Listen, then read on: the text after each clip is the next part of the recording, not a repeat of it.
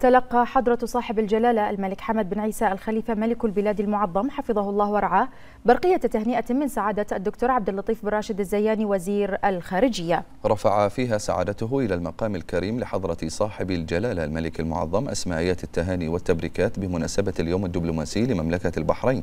والذي تفضل به جلالته بتخصيص الرابع عشر من يناير من كل عام يوما وطنيا للاحتفاء بالدبلوماسية البحرينية تقديرا للجهود المخلصة التي تبذلها الكوادر الوطنية في وزارة الخارجية لتنمية علاقات التعاون المشترك بين مملكة البحرين والدول الشقيقة والصديقة وحماية مصالحها وتعزيز مكانتها في المجتمع الدولي.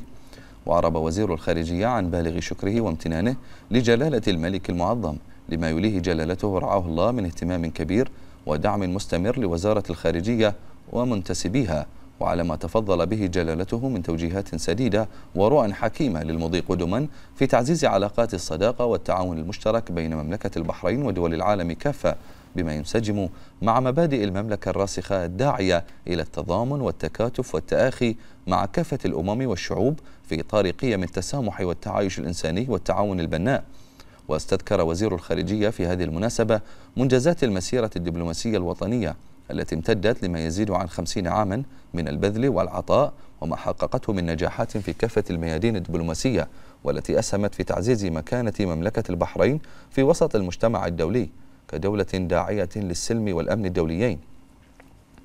سائلا الله العلي القدير أن يحفظ جلالة الملك المعظم, المعظم ويمده بموفور الصحة والعافية وطول العمر وأن يوفقه لتحقيق المزيد من التقدم والنماء والازدهار لوطننا الغالي ومواطنيه الكرام في ظل المسيرة التنموية الشاملة التي يقودها جلالته وبدعم ومساندة من صاحب السمو الملكي ولي العهد رئيس مجلس الوزراء حفظه الله.